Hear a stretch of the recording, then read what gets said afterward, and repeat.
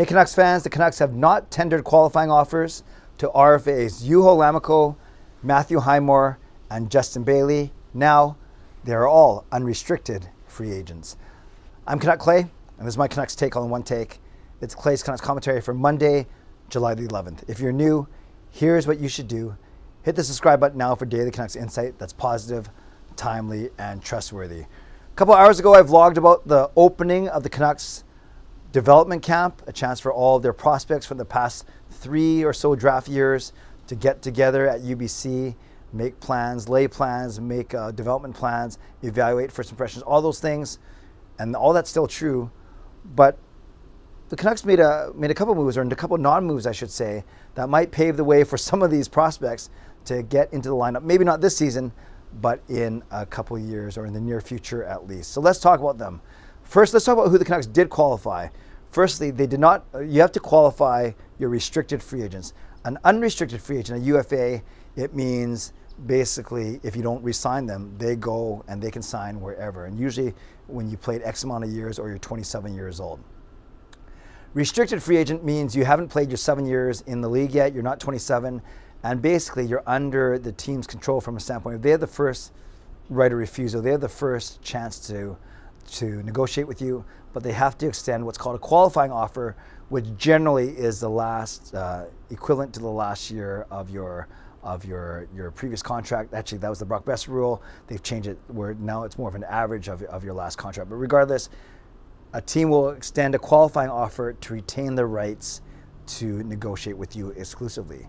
But if a team does not extend that qualifying offer, then they become that player becomes an unrestricted free agent. The other thing is, if you extend a qualifying offer, that doesn't mean that you are stuck. You are locked into that contract. It means it, it really uh, says at the bare minimum, we know we're going to get, you for one year at this amount, but we can negotiate otherwise.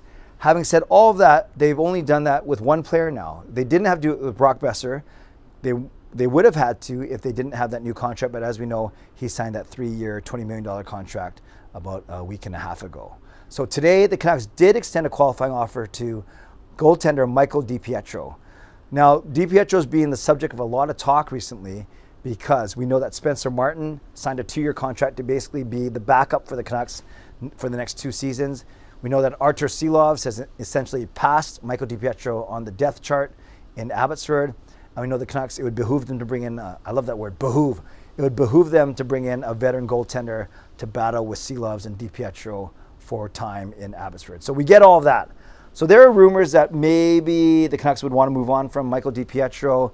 Maybe he's not panning out the way that they want him to, but at least I wouldn't say they've kicked that can down the road, but they have a bit more time to evaluate, and because they did extend Michael DiPietro a qualifying offer, so that means he can either accept that or they can negotiate another deal as well.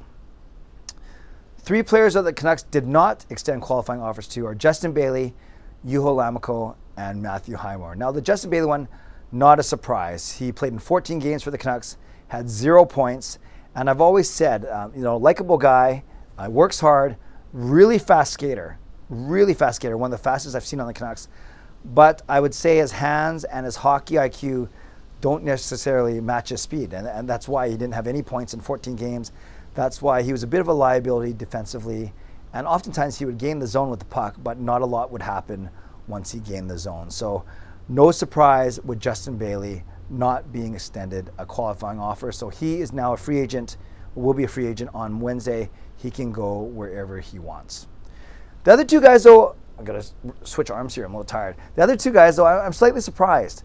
Juho Lammikko and Matthew Highmore both of obviously restricted free agents, and they didn't make a lot of money last year. I think uh, Lammikko maybe was 750. Uh, Highmore was in the same area, 750. I know they both made under 800 grand. So really, you're not spending a lot of money, even if you do qualify them for this basically the same amount or, or a, a, tiny bit of a surplus. And when they were paired together with Tyler Motte before Motte got traded to the Rangers, they were a very effective fourth line. They were low maintenance.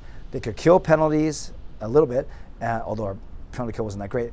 But most importantly, five on five, they were a great matchup line. They didn't give up a lot defensively. They pitched in the odd goal once in a while. not the odd goal, the occasional goal. You know what I mean, and not a strange goal. And overall, they were kind of a kind of um, you know a, re- a, revelation for us in that um, cheap, made a bit more, but cheap, a cheaper line that you could rely on in every situation. Now that line kind of uh, lost a bit of its sparkle once Tyler Motte was indeed traded to the Rangers, but you still had Lammikko worked hard, Matthew Highmore worked hard, and it's funny whenever I get asked to project my lines for next season, I always end off with Lammikko, Highmore, and someone like a Lockwood or someone on the fourth line. But it looks like the Canucks might not even bring them back. Now maybe Highmore's got some speed, but maybe they want more speed. Maybe they want more sandpaper Maybe they want more grit. Maybe they simply don't see Lammikko and Highmore fitting into their plans. Now, Lammikko came over in October with Noah Juulsen, who they did uh, sign to a new contract in the trade for Olli Juolevi. So it looked like a really good trade at the time. It still looks like a really good trade. And Lammikko played 75 games this season, had 15 points, seven goals, eight assists in those 75 games. And he played basically as the fourth line center. His off, his um, you know face-offs improved as the season went on. So I thought he was going to be, I thought he was serviceable, especially as a fourth line center. So slightly surprised that they didn't extend a qualifying offer to Lammikko. And then with Matthew Highmore, you have a guy who works his butt off, can skate well, not afraid to get in the dirty areas. Has a bit of sandpaper, not a lot of sandpaper, but has a bit of sandpaper. And he only played in 46 games, and he had 12 points. He had five goals and seven assists. But 12 points in 46 games, you know, that's fine for a fourth liner.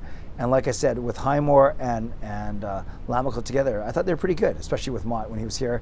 And Highmore was even featured in some of the late season um, press conferences. Not that that's a reason why you keep him, but he seemed to me at least to be a part of the Canucks plan. Now, just because you don't extend them a qualifying offer doesn't mean you can't re-sign them. Yes, they become unrestricted free agents, but the Canucks, it's not like they're barred from negotiating with them, but now they just got to compete with 31 other teams, where if you did qualify them, then obviously you have exclusive negotiating rights. So um, it's unlikely that Lammikko, Highmore, or Bailey come back to the Canucks, but it's not, uh, it's not like they're not allowed to or they're barred from doing so by virtue of not getting a qualifying offer. So bottom line, I'm surprised. I, am slightly surprised. I'm, I'm, not hurt. I'm not disappointed. I'm not sad because if, if they aren't in the, the Canucks plans, obviously Rutherford and Allvin have a plan to, to reshape that fourth line. But admittedly, I'm a tiny bit surprised given that I thought they were serviceable, especially for the money they're getting paid. But Canucks fans, I'd love to know what you think. Are you surprised with the decision not to qualify Lammikko and Highmore, and the, by extension, the decision to qualify Michael DiPietro? Let me know in the comments below. Um, as always, thank you to my sponsors, Perform and Transform, Personal Training, Weight Loss, and Vancity Experts Real Estate Group, Jason Luminous Teams. Thanks to legendary Lucas Gates, legendary Justin Credible, legendary Andrew Chang, Hall of Fame members, and franchise members as well. Subscribe if you like to. Like this video if you like to. Become a member or upgrade if you like to. Leave a tip, a super thanks if you like to.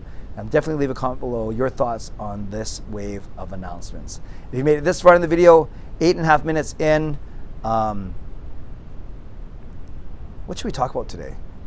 You know, I earlier I was talking about my roller hockey game, but then um, I have a softball game before that. So type in the word dinger that's that's a home run. I think I've made you do this once before, but type in dinger because that's what I want to get tonight. D I N G E R. That is a slang term for a home run. So type that in, and then I know that I made it. You made it to the end of this video, and I appreciate you as always. Okay, friends, stay safe, stay healthy, take care of yourselves, and take care of each other. Have a great day. God bless. And go Canucks, go.